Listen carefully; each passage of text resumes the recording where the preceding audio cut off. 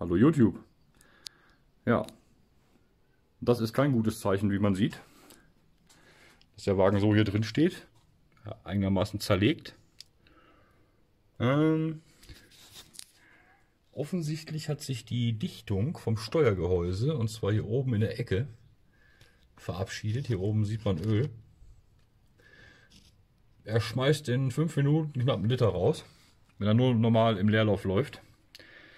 Das bedeutet, ich muss das ganze Steuergehäuse runternehmen. Hier hinter läuft der Zahnriemen. Wie man sieht, hat man mit dem Zylinderkopf nichts zu tun, der Zahnriemen. Ne? Also Zylinderkopf kann man wechseln, da ist der Zahnriemen gar nicht beteiligt. Könnt ihr in meinen Videos sehen. Ja. Die Scheibe da unten muss noch runter. Ne? Die Kurbelwellenscheibe. Dann kann dieses äh, komplette Teil, dieser komplette Deckel kann äh, runter. Dann muss der Zahnriemen komplett demontiert werden. Der ganze Kram auch noch raus. Und dann der hintere Deckel. Komplett vom Motorblock runter. Ja. Steuergehäusedeckel. Na gut, irgendwann sind solche äh, Dichtungen halt mal fällig und äh, das war so ziemlich die letzte, die ich noch nicht gemacht habe, weil wahnsinnig aufwendig. Klimakompressor liegt auch schon daneben. Übrigens sehr praktisch gemacht, dass man den einfach weglegen kann, trotzdem er angeschlossen ist. Ne? Da hat jemand mitgedacht. Ja, ja, da unten sieht man schon ein bisschen Öl. Deswegen habe ich den Wagen hier ganz schnell auf den Beton gestellt. Das ist nicht witzig. Sogar die Wasserpumpe, die P-Dichtung dahinter, alles ist neu. Und das hier ist natürlich die mieseste Dichtung, die kaputt gehen kann. das ist einfach uncool. Aber passiert halt. Und ja, ich war heute in Hamburg. Und äh, wir haben Ersatzteile gekauft. Ach ja, bei der Gelegenheit, da es relativ unbekannt war, äh, wie, äh, in welchem Zustand der äh, Zahnriemen ist. Und bei der Gelegenheit natürlich, ein komplett neuer Zahnriemen. Umlenkrolle. Die Wellendichtringe für Kurbelwelle etc und irgendeine Schraube, deren ich äh, Sinn ich noch nicht so ganz erkenne. Und eine Kurbel, ach, äh, Steuerdeckeldichtung. Ja. Da muss ich sagen, kann ich nur empfehlen. Ich kriege da kein Geld für. Ja. Ich habe äh, habe heute Morgen da angerufen bei der Offroad-Manufaktur in Hamburg und äh, die hatten alles da. Gut, das, äh, die Steuergehäusedichtung an, an, sich nicht, aber wer braucht die schon? Ne? Das ist, ist, einmal in zehn Jahren, dass sowas kaputt geht. Deswegen äh, Firlefanz. Die habe ich jetzt bestellt und die ist morgen da. Die kommt per UPS, kostet nämlich einen Zehner. Der ganze Kram hier, ich glaube 115. Ja, dann ist für die nächsten 5, 6 Jahre wieder Ruhe. Auch schön. Hier sieht man ganz dolle viele neue Bremsen, Bremsenteile. Das sind alle Bremsen, die beim Astra neu gemacht werden. Und zwar alle, wie man hier sieht. Zahnriemen kommt auch noch, ist auch unterwegs. Ja, finde ich gut. Dann kann der mehr oder weniger in einem Rutsch durch den TÜV. Dann stelle ich den auf Ebay mit zwei Jahren TÜV. Mal sehen, was das so ergibt. Ja. Ansonsten gibt es nicht viel Neues. Kann ja auch kaum Neues geben, weil ich äh, bis gestern Nacht hier drin hing, als das aufgetreten ist. Das Öl ist bis an die Haube gespritzt. Hier sieht man die Spuren noch. Mhm. Da ist ordentlich äh, Öldruck hinter. Ist halt blöd. Aber was will man machen? Manchmal gehen Dichtungen kaputt. Er stirbt davon nicht. Der Wagen hat 7 Liter Öl. Inhalt. Und selbst wenn drei abhauen. Naja. Okay. Ja, jetzt muss ich gleich mal gucken, dass ich irgendwo einen Abzieher finde. Dass ich das Gerümpel da unten abkriege. Alleine die Schraube äh, von dem Teil ist äh, monumental. Nicht schlecht, oder? Geiles Ding. Und die Unterlegscheibe erst. Das hat was. Ja, die muss wieder rein. Und dann werde ich ja mit dem Abzieher arbeiten, Dreiarmabzieher. und äh, die da runterholen. Wenn ich es irgendwie hinkriege, die Kamera zu platzieren, äh, ja, lasse ich euch sozusagen mitmachen. Ja, hier sieht man auch alles. Hier ist das Öl runtergelaufen. Dahinter ist das Öl runtergelaufen. Da muss ich erstmal ordentlich sauber machen. Ich werde erstmal eine Familienpackung Bremsenanhänger kaufen. Für außen. Und äh, was brauche ich noch? Dichtmasse brauche ich auch noch. Weil ich äh, die Gehäusedichtung und die hintere Dichtung definitiv nicht alleine der ganzen Geschichte da überlasse. Ja. Muss alles runter. Alles. Wasserpumpe. Oh, das wird lustig. Ich kann das jetzt schon nicht leiden. Oder muss die Wasserpumpe da nicht runter? Ne, stimmt gar nicht. Muss gar nicht runter. Ne. Gott sei Dank haben die das getrennt. Hoffe ich. Ja, haben sie. Gott sei Dank. Da hätte ich jetzt gar keine Lust zu. Weil die Seite ist eigentlich fertig. Die äh, Wasserpumpe hier ist, äh, wie man hier sieht, nagelneu. Die habe ich schon gemacht. Den Kollegen, den Spanner, habe ich schon liegen. Weil so ein ganz kleines bisschen hört man es. Fängt da an. Man sieht es auch schon ein bisschen. Macht doch keine großartigen Probleme, aber ja, ich habe den schon neu. Ja, für solche Aktionen. Der hat auch, glaube ich, schon, äh, der kommt noch aus meinem alten. Weil hier drin hat sich mal was verheddert. Hier lachen Lappen im Motorraum und äh, der hat sich um das Ding rumgewickelt, um das alte. Und der hat, glaube ich, schon knappe 250 bis 300.000 runter, der Spanner hier. Also von daher darf er auch mal irgendwann kaputt gehen. Neu kosten die nicht die Welt. Ja, ja. Werde ich bei der Gelegenheit mal mitmachen. Ja. Läuft doch sehr gut, muss ich sagen, dafür, dass er eigentlich kaputt ist.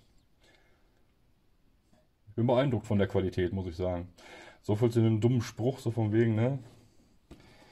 Gott schütze uns vor ne, Sturm und Wind und Autos, die aus England sind. Das ist eigentlich totaler Quark. Die Dinger sind eigentlich qualitativ sehr hochwertig. Sind halt ein bisschen avantgardistisch zusammengebaut. Also, muss jetzt keine Dichtigkeit von dem Auto erwarten.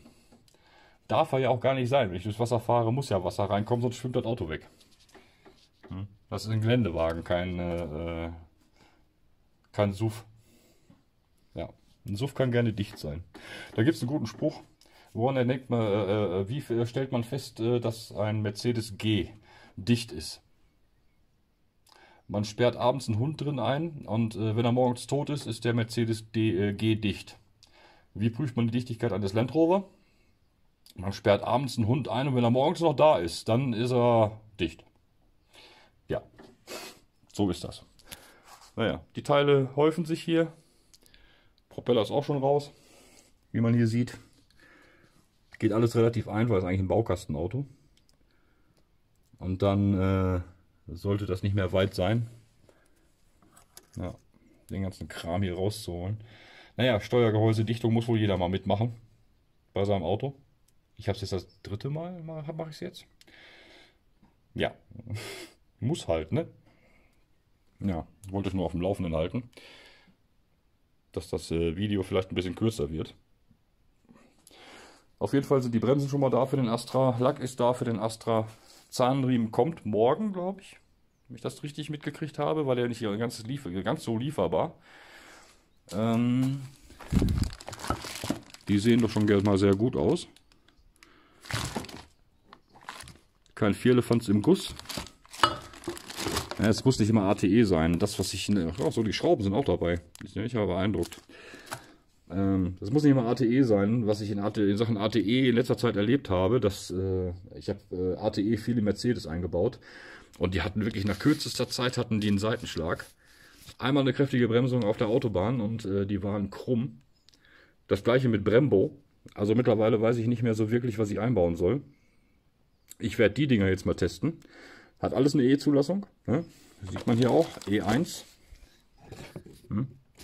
Alles eine E1-Zulassung. Also ist alles zulässig. Ich werde es mal sehen, was passiert. Wenn mir die Marke gefällt, dann äh, werde ich die öfter einbauen. So ein komplettes Bremsenset für den Astra äh, kostet 117 Euro. wir werden sehen. Ne? Wie gesagt, ich äh, behalte die Autos gerne im Auge und ich teste auch gerne Produkte. Also von daher, äh, solange das eine Zulassung hat und ich weiß, wo es herkommt, ich habe eine Rechnung darüber, also kann da nicht viel passieren. Ist in Deutschland zugelassen und äh, darf gefahren werden. Ergo werden wir sehen, was dabei passiert. Ob sie sehr schnell verschleißen, was ich jetzt nicht unbedingt glaube. Oder ob sie irgendwelchen anderen Ärger machen. Wie gesagt, die Premium-Marken sind im Moment alle, haben alle Ärger. Ihr könnt euch das bei den Autodoktoren gerne mal angucken, was da Brembo teilweise zusammenbastelt. Bremsbelege, die sich auseinander äh, dividieren, wo der Belag runtergeht vom Träger. Deswegen, ich will es einfach mal testen, weil äh, nach dem vierten oder fünften Mal eine äh, ATE-Bremse äh, zu, zu, zu wechseln, die sind ja auch nicht billig, weil die Dinger einen Seitenschlag gekriegt haben, nach teilweise 2.000, 3.000 Kilometern. Also das äh, geht gar nicht.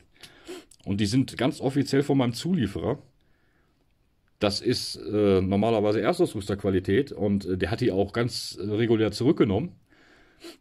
Auf, ja, ich, ich nenne es mal Kulanz, weil so wirklich Garantie nach 3000 Kilometern war es jetzt nicht, aber ja, und ich habe andere gekriegt. Auch wieder ATE, das gleiche wieder. Hm, finde ich seltsam. Deswegen probiere ich die jetzt aus. Der Astra ist keine unglaubliche Rakete, die 300 km/h äh, plus läuft. 170, 180 läuft er. Wir werden den sowieso fahren, erstmal. Test fahren und dann werden wir sehen, ob die was bringen. Ich werde die nach allen Regeln der Kunst zusammenbauen, Sättel und so weiter, alles vernünftig äh, vorbereiten. Ihr werdet das sehen, ich werde es filmen. Und dann werden wir sehen. Ja, es gibt Leute, die bauen nur dieses oder jenes ein, aber selbst die Firma Meile kauft zu. Ne? Das ist Vierlefanz. Ne? Die bauen auch nicht alles selbst. Ja, die bauen für Premium-Marken selbst, die bauen für äh, Volumenmodelle selbst, aber spätestens, wenn es irgendwo in Richtung, sagen wir mal, jetzt zum Beispiel der PT Cruiser geht, das ist von äh, Meile Ebbe. Die fertigen das nicht selbst, die kaufen das zu, kleben ihren Namen drauf und das ist gut. Macht äh, Febi Bielstein auch, das ist ein reiner Umverpacker, die stellen gar nichts her. Ja. Die kleben dann nur überall ihren Namen drauf. Letztendlich kommt der ganze Kram sowieso aus China. Die Frage ist, äh, wie sollte das gefertigt werden? Und diese Vorgaben, deswegen gucke ich hier gerade die Bremsscheibe an. Das ist eine innenbelüftete Scheibenbremse. Die Stege haben eine vernünftige Dicke. Hier ist nichts gespart worden. Das Ding hat äh, volles Material. Ich werde die jetzt nicht auspacken, sonst fangen die an zu gammeln. Ne? Also ich sehe keine, äh, keine materialsparenden äh, Geschichten. Die nicht innenbelüfteten hinteren Scheibenbremsen sehen gut aus. Die sind kein, kein Deut irgendwo äh, übermäßig abgedreht. Haben volle Dicke. Deswegen ist mir empfohlen worden. Und äh, werde ich jetzt mal so einbauen. Sieht alles sehr gut aus. Hm? Ich habe, wie gesagt, keine Einwände bis jetzt. Die hinteren Bremsbeläge müssen letztendlich nicht viel tun, außer die Handbremse und äh, 20% oder 25% der Bremsleistung übernehmen. Also, wie gesagt, wir werden es sehen. Mist habe ich schon genug gesehen jetzt in letzter Zeit von Premium-Marken. Aber erstmal muss der Kollege hier fertig werden. Weil ohne Auto ist blöd. Na, wir haben noch ein paar andere Autos, ne? das ist nicht das Problem, aber das ist halt das, Zug, das Zugfahrzeug. Und der T, T3 muss auch noch abgeholt werden. Das ist... Ja, der wird da wohl nicht repariert. Gut, aber dazu später mehr. Ich feiere mich gerade dafür, dass ich kein Mechatroniker bin. Vorschriftsmäßigerweise sollte man mit einem Drei-Arm-Abzieher äh, das Polrad runternehmen. Äh, den Kurbelwellen, nee, die Kurbelwellenscheibe hier unten, ne? die mit dieser Schraube hier festgemacht ist. Leider kann man diesen Abzieher hier nicht zwischensetzen. Zu wenig Platz. Blöd. Ich habe es so abgekriegt. Womit habe ich das gemacht? Und zwar habe ich mir auf dem Flohmarkt mal so einen pneumatischen Meißel gekauft. Damit habe ich die Scheibe ganz schlicht und ergreifend jetzt so lange und mit Rostlöser bearbeitet, bis sie mit zwei Hebeln rausgekommen ist. ja. Ja. Geht nicht raus, ist kaputt. Ja, habe ich schon öfter mal gehört. So, jetzt wollen wir mal gucken, ob der Deckel abgeht. Der große Moment. Schraube vergessen. Mann, bin ich gut. Unglaublich. Die offensichtlichste habe ich übersehen.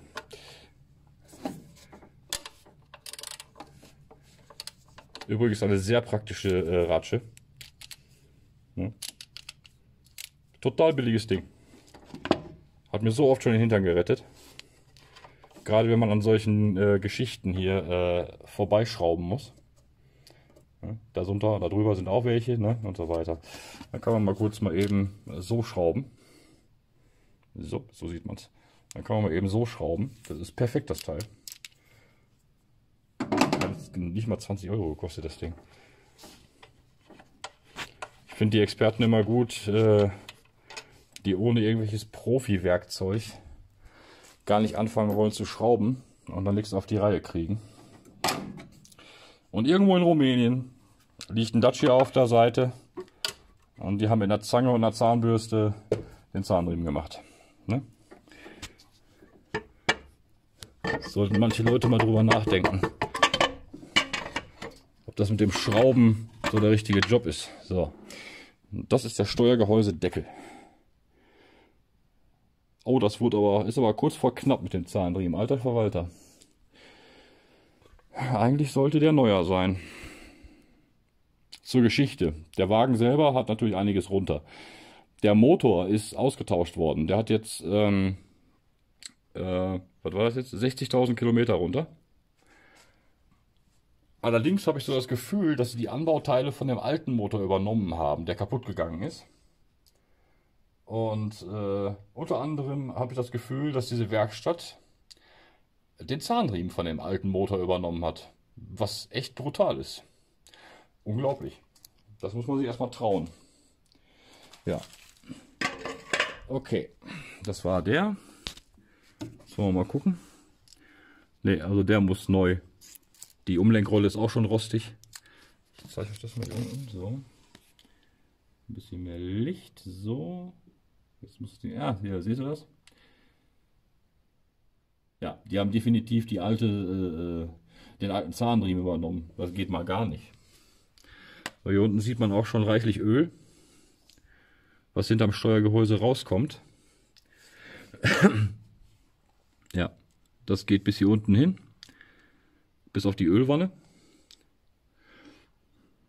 Passhülse, sehr praktisch. Hier. Von der Theorie müsste eine zweite da sein, und zwar hier. Aber das ist nicht das erste Mal, dass, sie, äh, dass aufgefallen ist, dass die Werkstatt Blödsinn gebaut hat. Der neue Motor wurde zum Beispiel eingebaut und hat, äh, die haben dem ähm, das Getriebe oben, die unteren Schrauben, da kommt man super dran. Die oberen Schrauben, da muss man den ganzen Motor nach hinten ankippen und dann mit einer unglaublich langen Verlängerung von hinten die Schrauben, äh, die oberen drei, vier Schrauben muss man äh, befestigen. so ist da Wasser reingelaufen, weil sie die nicht festgemacht haben, beziehungsweise die waren gar nicht da. Und äh, wir reden hier von einem nagelneuen Austauschmotor für, für 4500 Euro, den sie dann bestückt haben und eingebaut haben. Nochmal, glaube ich, für zweieinhalbtausend. Ist schon recht aufwendig bei dem Auto, zugegeben. Aber dann noch bitte alle Schrauben reindrehen. Uns ist der Wandler kaputt gegangen, weil er Wasser gezogen hat. Keine Fragen mehr dazu. Und wir machen den, äh, das Getriebe ab, gucken uns den Wandler an und äh, sehen Matsch. Ja, also den Zahnriemen würde ich jetzt auch nicht mehr länger fahren wollen, muss ich sagen. Ich bin beeindruckt, dass er überhaupt noch gehalten hat.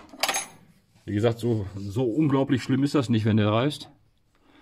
Stoßstangenmotor. Hm. Stößelstangen von mir aus auch.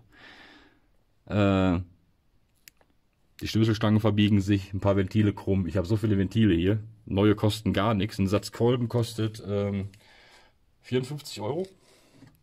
Alle vier. Ja, wie gesagt, man kann kein billigeres Auto fahren, was die Ersatzteile angeht. Und äh, ja. Okay, das war das kleine Update. Wieder mal so eine Sache, wo man sich schön drüber ärgern kann. Ja, finde ich gut. Jetzt muss ich das Ganze auf OT drehen. Das zeige ich euch gleich noch. Und dann mal gucken, wie das hier alles aussieht. Eigentlich müsste er schon fast auf OT stehen. Weil diese Markierung muss hier auf diese Nase zeigen. Ich müsste also quasi nur ein Stück zurück. Also den hier ein bisschen zurück. Dann kann ich die Pumpe abstecken. Mit dem 9,5er Bolzen. Bohrer geht auch. Der kommt dann hier durch.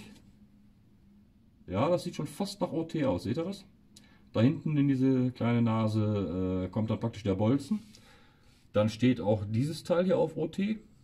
Ergo, die Kurbelwelle steht auch auf OT.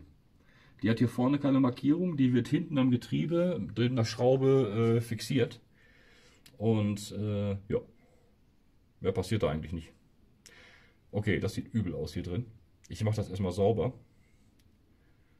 Die neue Dichtung ist auf jeden Fall nötig. Hier ist offensichtlich Wasser reingekommen. Was eigentlich nicht darf. Normalerweise ist dieser Kasten hermetisch abgeriegelt. Aber so richtig hermetisch abgeriegelt. Dass hier auf gar keinen Fall Wasser reinkommt. Zahnriemen, Wasser. Ist genauso wie Zahnriemen, Öl. Das passt nicht so richtig zusammen. Ne? Ja. Okay, ich guck mal, was ich machen kann. Bis gleich. Ja, das ist die nächste Ratsche, die mir echt oft den Hintern gerettet hat. Auch spottbillig das Teil eigentlich. Ich glaube auf Amazon. Und zwar das Geheimnis ist in dem Fall, die kann man verlängern. Und äh, gerade in Bezug auf äh, Motoren drehen etc. Gehst du jetzt wieder raus? Ja. Gerade in Bezug auf Motoren drehen, top Teil. Ja. Kommt nicht immer überall dran, sofort. Verkehrt rum. So. Die blöde Schraube wieder da reinkriegen. Da ist er. So, jetzt müsste eigentlich knapp vor OT stehen. So. Also wenn ich mir das hier so angucke, sollte das jetzt OT sein. Jetzt müsste da eigentlich die Kamerabeleuchtung funktioniert gerade nicht. Der müsste jetzt eigentlich genau da stehen. Ich besorge mal jetzt den Bohrer, den 9,5er, und dann stecke ich den mal da rein. Ne? So, damit ist das jetzt blockiert. Hier steht es nicht ganz auf OT. Finde ich etwas seltsam. Ich befürchte, die haben den Zahnriemen ein bisschen äh, versetzt eingebaut merkt man jetzt nicht so wirklich. Ne? Muss nicht jedes Mal der, äh, der Zahnriemen, ach, der, äh, die Ventile aufschlagen. Egal wie gerade ich es halte. Ich befürchte, da ist nicht viel mit OT. Jetzt ist hier oben blockiert. Wie man sieht, der ist steinalt. Ne? Der ist wirklich steinalt, der Zahnriemen. Glück im Pech. Hm. Ja. Das äh, hätte ich mir auch trotzdem lieber erspart, aber naja, Werkstätten halt. Ja. Für 6000 Euro äh, erwarte ich da ehrlich gesagt ein bisschen mehr. Das ist übrigens die, äh, das Rad von der Nockenwelle. Die sitzt hier. Ne? Deswegen. Ne? Zylinderkopf hier oben. Den kann man ausbauen. Man sieht keine Nockenwelle. Kein Zahnriemen. Der ist hier. Deshalb ist der, wenn man alles äh, vernünftig bereit liegt, der, der, der Zylinderkopf in knapp einer Stunde gewechselt. Ja. Mhm. Mhm. Kopfdichtung, genau das gleiche in grün. Ne?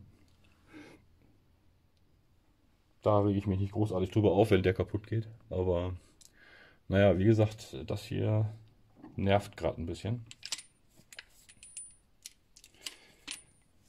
Dass die Steuerzeiten nicht so hundertprozentig stimmen. Mal auf Spannung ziehen. Gucken, wie es jetzt aussieht.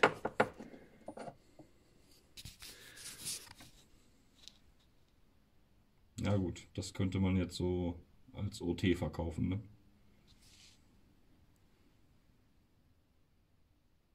Aber wie gesagt, der Zahnriemen offensichtlich ist ja sogar schon länger geworden.